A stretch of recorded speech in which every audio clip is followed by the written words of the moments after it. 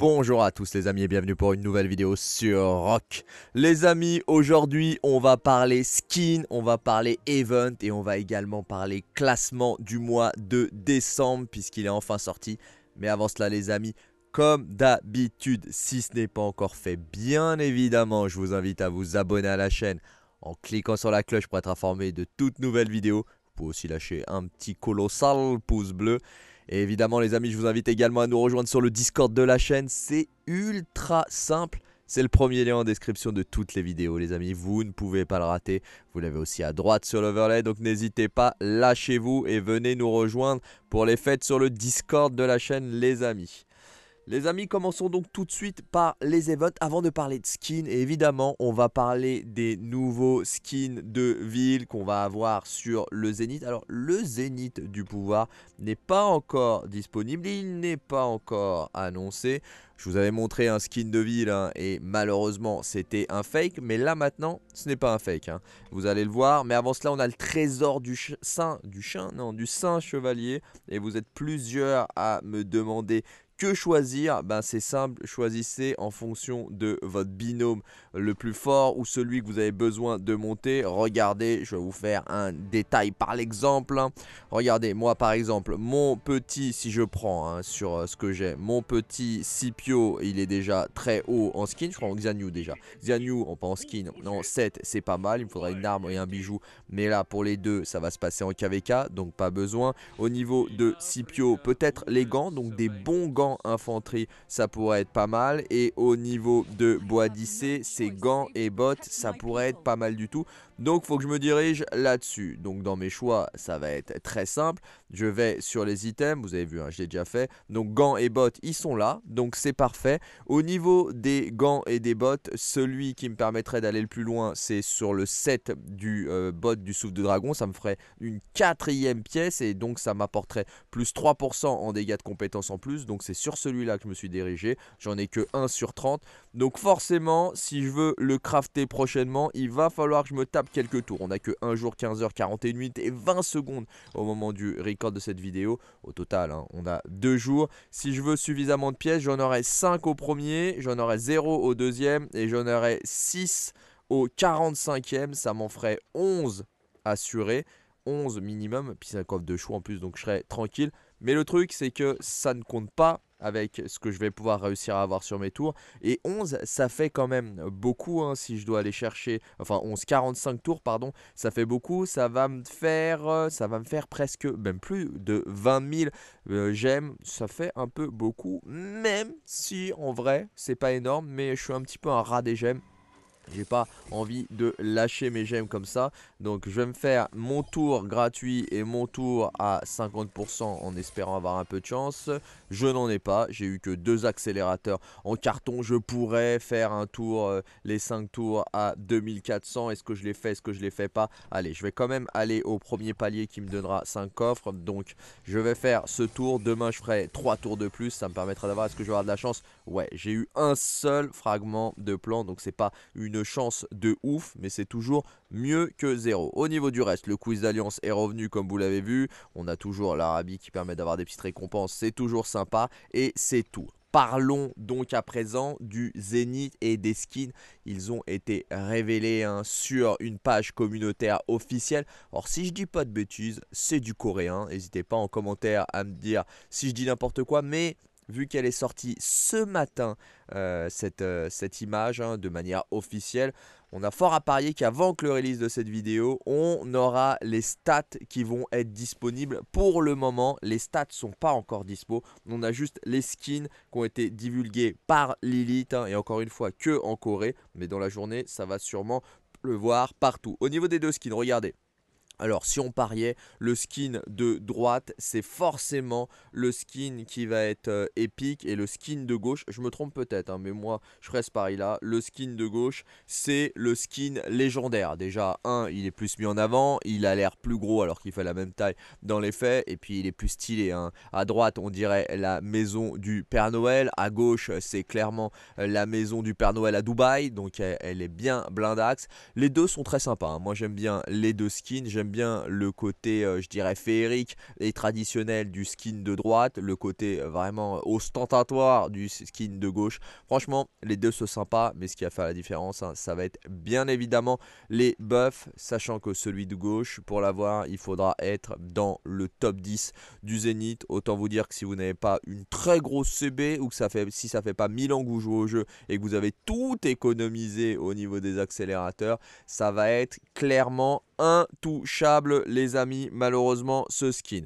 Passons à présent au fameux classement dont je vous le parlais qui est sorti, c'est le classement du 1093, hein, vous le voyez, hein, c'est le classement de décembre 2022, il est tout chaud, il est tout frais, le 1093 nous met très souvent à jour son classement des puissances de royaume. Et comme d'habitude on va voir ensemble si vous devez migrer ou si vous devez affronter un royaume ou envisager une alliance, hein, les meilleurs classements en commençant, les meilleurs royaumes en commençant par le royaume en braquette A, donc en seed attention, le premier n'est pas forcément le meilleur. Le premier dans ce tableau-là, avant que je le reclasse, hein, c'est celui qui sur le top 300 a le plus haut score, même c'est plus que le top 300. Hein. Sinon, c'est le top 300. Hein. Ils le disent en haut, c'est le top 300 euh, puissance des 300 plus hauts joueurs du royaume, gouverneurs du royaume, leur puissance cumulée, ce que ça donne. Alors regardez, le premier au classement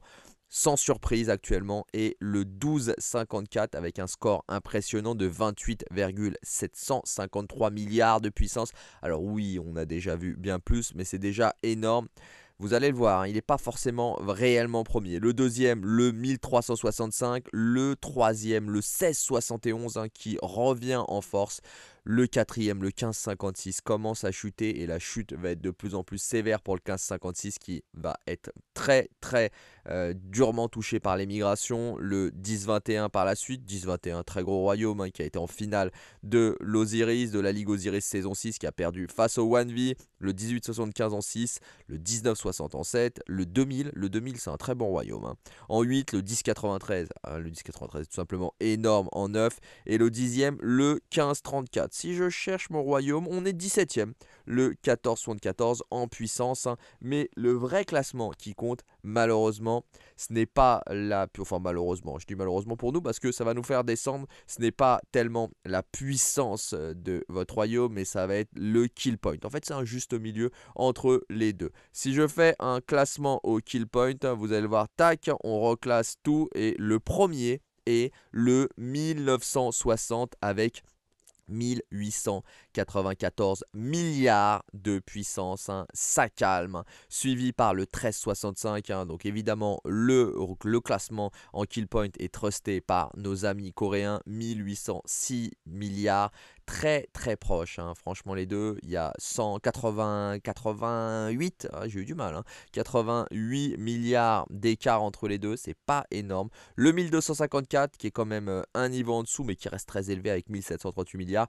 Et après, on retrouve le 1846. Alors, le 1846 a du mal à se maintenir. C'est un royaume là qui est vraiment flottant. Est-ce qu'il va réussir à survivre hein, au dernier KVK qu'il a perdu, surtout de la manière dont il l'a perdu. On verra par la suite hein, le, le, cinquième en kill point hein, et le 1307 qui ressort de nulle part. Le 1093 remonte, vous voyez, hein. on a de plus en plus de royaumes au-dessus des 1000 milliards. On a le 1093, le 747, le 1034 évidemment, le 1556, le 1534 et le 1671 et après ça chute. On descend à 900, on descend à 800, on nous retrouve le 1474. On descend pas mal. La remontée, je dirais, la plus fulgurante, l'écart le plus fulgurant entre le classement réel hein, en puissance et le classement en kill point, c'est une petite mention spéciale au 12, au 1188 qui était 128e en puissance et qui est 1, 2, 3, 4, 5, 6, 7, 8, 9, 10, qui est 12e, donc 128e en puissance, 12e en kill point. Franchement, ça calme, vraiment, c'est la plus grosse remontée. Regardez, je suis en train de lister, c'est de loin la plus grosse remontée de tous. Donc petite mention spéciale hein, à, au Royaume 1188 hein, qui mérite à mon avis de qu'on jette un oeil car il doit avoir des vrais fighters dessus. Passons à présent les amis au bracket B, au site B et vous allez le voir là la donne est très différente puisqu'on a des puissances qui sont bien moins élevées. Regardez, le 431e royaume, donc les 430 premiers sont en seed A le 431e royaume est à 16 milliards de puissance. En revanche, si on classe par kill point, et vous le voyez en kill point, il n'est pas du tout élevé, il n'a que 147 milliards de euh, kill point. Si on le classe par kill point, ça va vraiment tout changer. Le premier, regardez, le premier est 762e en bracket B, il est 762e en puissance, pourtant en kill point, il éclate tout le monde, il est à 344 milliards de kill points. Et regardez, si je repars sur le bracket A et que je classe au kill point, que je classe à la puissance, regardez, avec ces 300 milliards, il pourrait être à la place du 1185 qui est 24e en puissance. Hein. Donc le 1185 est très haut en puissance, mais très faible en kill point, hein. à l'inverse du 1316 qui lui est 762e en puissance, mais qui est ben, en kill point à bien plus haut. Il pourrait euh, être bien mieux classé. Vraiment très gros royaume hein. en site B, le 13, le 1316. Si vous cherchez un royaume en site B ou migré, le 1316 est à considérer. Le 1722, le 1722, également euh, très impressionnant. Il a plus de puissance, il a 15,7 milliards, presque 15,8. En revanche, il est à 320 milliards de kill points, impressionnant aussi. Le 2061, pareil, très intéressant. Après, ça commence à chuter durement, mais ces quatre royaumes-là, le 1316, le 1722, le 2061 et le 1855, sont trois très gros royaumes que vous pouvez considérer. Personnellement, j'irai sur le 1316, pas parce que c'est le premier des sites B, euh, si je devais aller sur un site B, mais parce que c'est le plus faible en puissance et c'est le plus haut kill point. Regardez, c'est le seul de toute la liste hein, qu'on voit là. C'est le seul qui est en dessous des 15 milliards. Le prochain, c'est le 2356. Hein. donc, euh, c'est le seul de toute la liste du top 20, je dirais, des brackets B qui est en dessous des 14 milliards et demi même de puissance, mais qui est au-dessus des 340 milliards en euh, kill point. Donc vraiment un royaume de vrais fighters.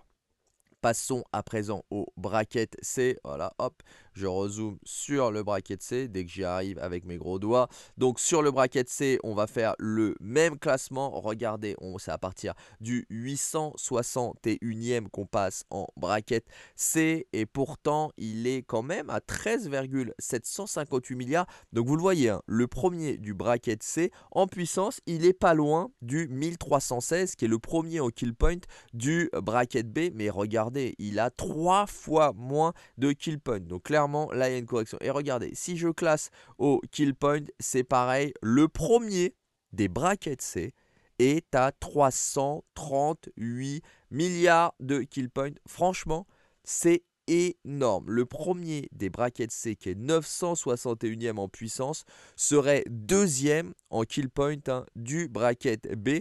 Et franchement, il pourrait être bien classé aussi au niveau des brackets A, très impressionnant le 1885. Et regardez l'écart hein, avec euh, le royaume d'après, hein, le 1900, il est vraiment très très prononcé. Il y a plus de 100 milliards d'écart.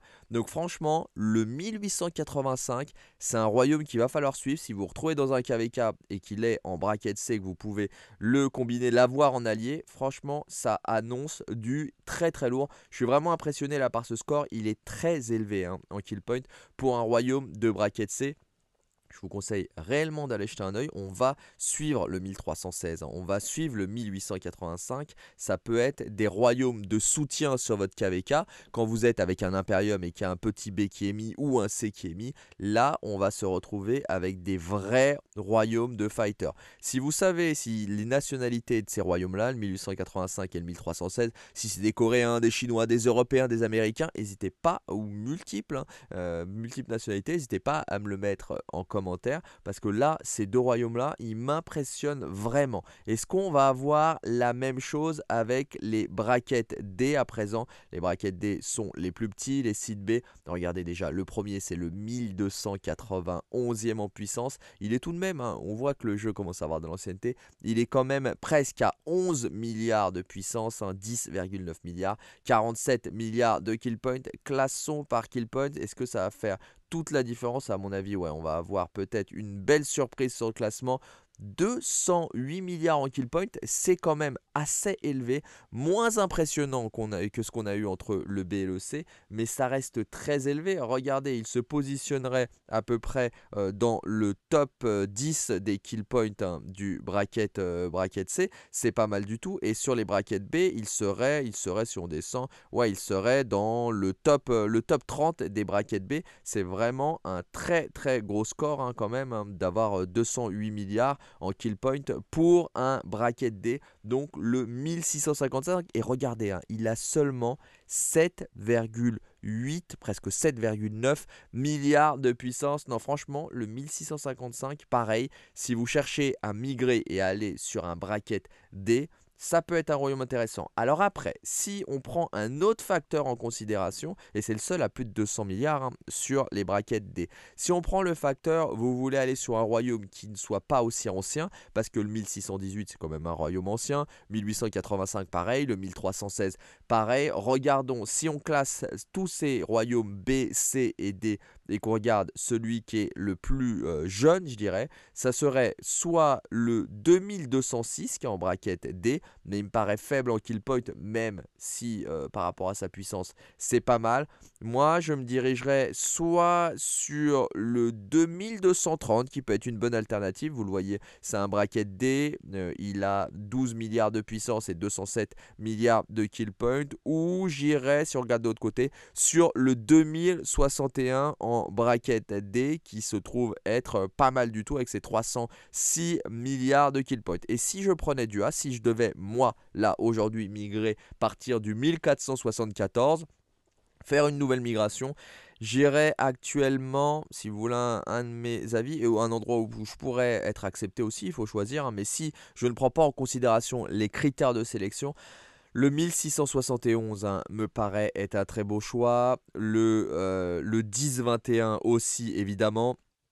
Le 1875, le 2000 et le 1093. Voilà ceux que je viserais. Si je devais en choisir un seul, franchement, Franchement, alors attendez, je vais reclasser au kill point parce que là je vous donnais mon avis sans classer. Non, donc j'irai sur, sur, sur le, alors, 1365. Euh, on va dire que le 1960, le 1365 et le 1254, si vous n'êtes pas une baleine hardcore gamer, ça va être compliqué viser le 1307, il se tient mais non, le 1093 je viserai, le 1647 je viserai. Ou le 1671 euh, ou le 1534. Voilà le choix des 4 que je ferai, même pas des 5, 1307, 1093, 1647, ça serait des bons choix, des vrais fighters, après il faut être investi, hein. et sinon le 1534 ou le 1671, ça me paraît là tout de suite des bons choix, sachant que le royaume le plus solide et le plus constant dans le temps reste bien évidemment le royaume 1093 qui est là depuis le tout début du jeu et qui est dans le top pendant très longtemps. Le 1093 hein, a été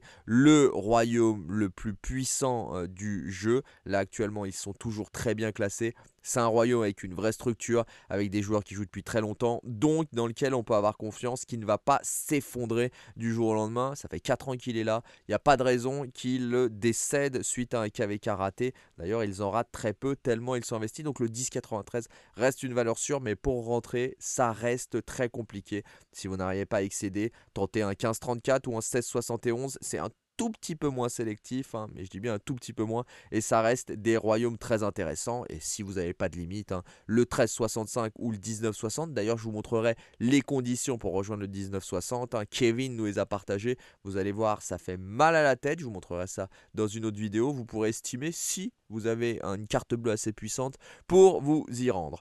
Voilà, écoutez les amis, c'est tout pour cette vidéo en ce vendredi. J'espère qu'elle vous aura plu. Si c'est le cas les amis, comme d'habitude, n'hésitez pas à lâcher un follow, pouce bleu. Vous le savez, les amis, ça aide énormément le développement de la chaîne et surtout, ça me fait vraiment très plaisir. Si ce n'est pas encore fait, les amis, qu'attendez-vous Qu'attendez-vous pour vous abonner à la chaîne? En cliquant sur la cloche pour être informé de toutes nouvelles vidéos Je vous souhaite un bon jeu à tous, un excellent week-end à tous, les amis. Prenez soin de vous, faites bien attention à vous et je vous dis à plus sur Rock.